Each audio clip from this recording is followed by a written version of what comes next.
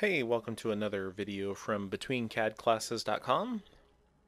In this video, we're going to take a look at how we can add the stretch action to a dynamic block in AutoCAD.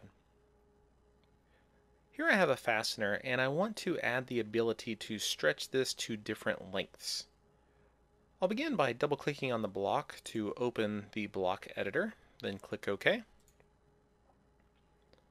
Next, I'm going to start on the Parameters tab, and what I want to do is add a linear parameter.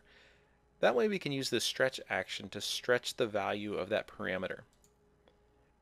With the linear parameter, I'm going to click two points just like I'm placing a linear dimension.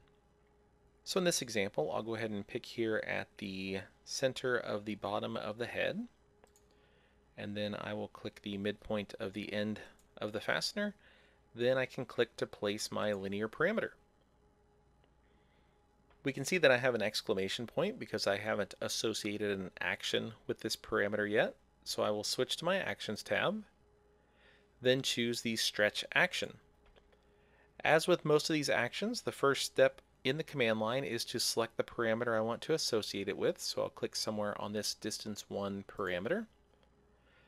Next, I need to click which point I want to associate it with. So you can see the red X, I can either do the left side or the right side. Since I'm stretching the right side out, I will just click once I see that highlighted on the right side.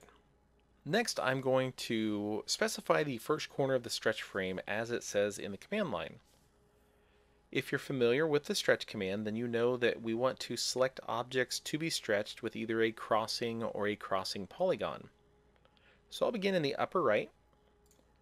Then I will drag my frame over and I will stretch the shoulder of this fastener here. So I will create a crossing like so.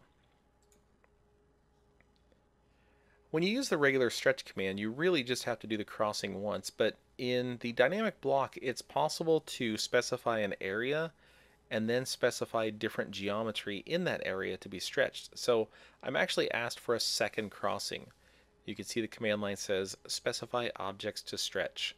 So I'm just going to make another very similar crossing here to select my objects. I'll go ahead and press enter to finish.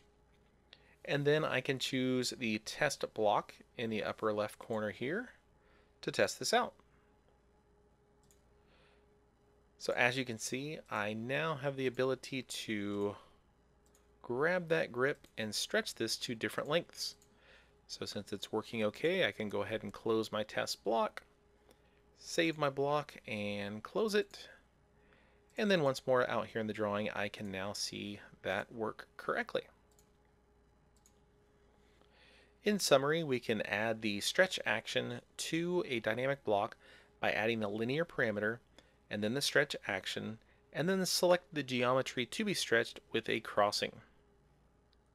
That concludes this look at adding the stretch action to a dynamic block in AutoCAD. Please like this video if you found it helpful. And if you would like to find more videos like this, please subscribe to my channel or stop by my website, betweencadclasses.com.